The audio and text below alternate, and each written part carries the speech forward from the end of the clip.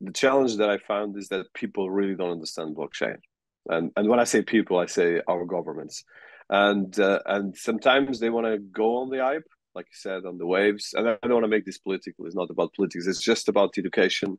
And I think an event like yours is highly educational and highly about creating attention. You just mentioned Binance put two hundred million dollars in the French economy. That's a substantial number, and uh, and at the same time, Binance is it's a player that is a kind of a global octopus that you never know where it goes. But it's as, uh, as well one of the biggest trading platforms, uh, probably the biggest trading platform in the world at the moment. So how do you, from your experience, and I know that you do a lot of different events and you come from a financial background, how can we actually create more awareness in the positive level? Because the challenge I've been finding is this positive level, especially when it comes to governments and institutions because very easily they pass from an extreme to the other. Okay. Um, well, the, the, for, me, there are two main drivers. Uh, the, one of them is uh, uh is the use case. Uh, you probably have heard, and you see at some conferences. Uh, for example, Finland, the government has has worked on digital identity uh, and tried to build. Um, a new system based on the blockchain. So uh, I, have been at um, French government uh, events where they look at what's happening all over the world in terms of digital identity, because that's one of the topic.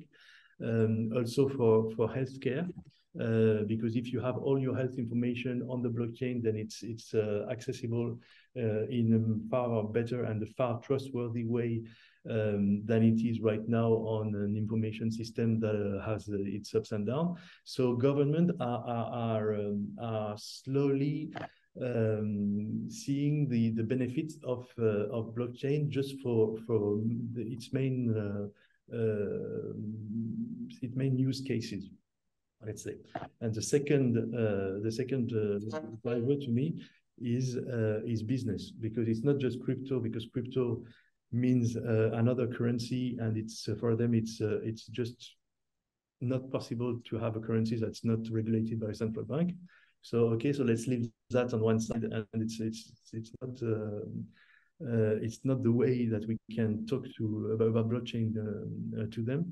Uh, but when we uh, are talking about businesses, uh, which mean job creation, companies that are building real business models uh, because of this technology, um, uh, companies uh, from the mainstream business era that are investing as well and, and recruiting people, and, and that you see more and more um, of the economic power of of this sector, then they cannot, they just cannot ignore it.